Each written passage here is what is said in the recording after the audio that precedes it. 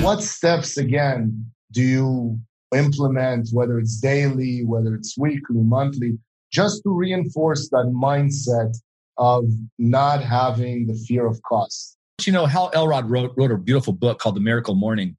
I really try to follow that to a T and then journal every day, right? Just to write my goals like if I've already achieved them, right? I, I make $4 million a year in passive income.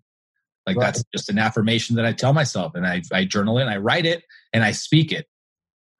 So I think just speaking aloud what you want as if it's already happened, right? Just all Napoleon Hill's Think and Grow Rich type stuff.